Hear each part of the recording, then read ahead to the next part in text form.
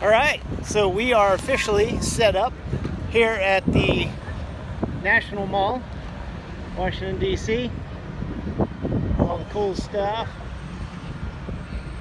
You know that?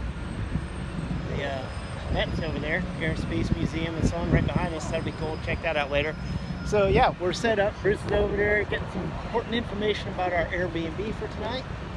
Um, lots of stuff going on here. Some uh, uh, officials coming by wanting to see our house. Uh, some people from HUD probably had four or five people already from HUD come over to want to see it uh, personally. So we're excited. Um, we've had a lot of people actually say um, that we are actually the only really innovative house here so far. Uh, I see some regular mobile homes and a couple container things. Those are kind of cool.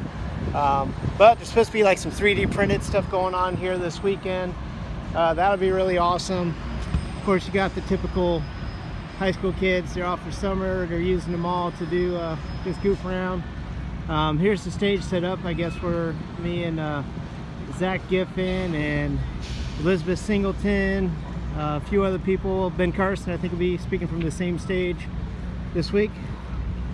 We got our tourist run around here. Oh, it's something really important is way over there. I don't know if you can see it. See if I can zoom in.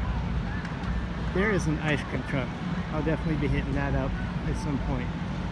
So anyway, Andrew Bennett here. Core Housing Solution.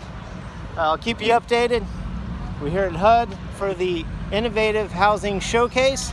And we're going to show off our completely off-grid now Firefly model. Sorry for the shaky video.